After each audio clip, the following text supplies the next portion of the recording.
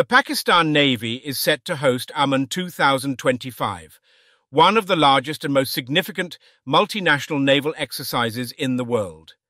Taking place in the strategic waters of the Arabian Sea, Aman 2025 will bring together naval forces from over 50 nations, emphasizing international cooperation, maritime security, and collective readiness in the face of evolving global challenges.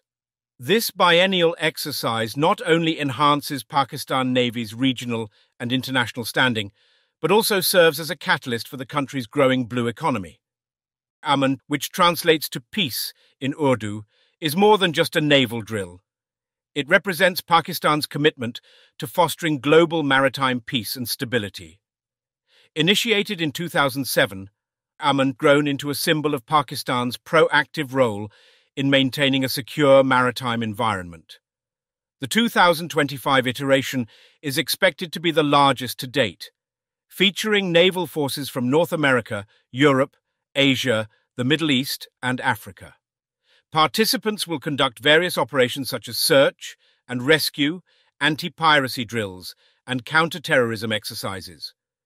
By doing so, they will demonstrate a united front in addressing non-traditional threats, including maritime terrorism, smuggling and environmental challenges like pollution and illegal fishing. Aman 2025 is set to reinforce Pakistan Navy's leadership role in the region, positioning it as a reliable partner in maritime security.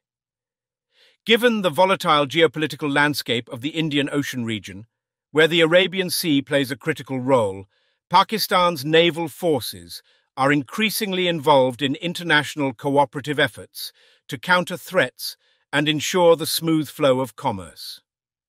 The Gwadar port, a major focal point in the China-Pakistan economic corridor, is poised to benefit from the exercise. The international exposure brought by Aman 2025 will not only underscore Gwadar's strategic importance, but will also attract global investment and partnerships in port development, shipbuilding, and maritime trade.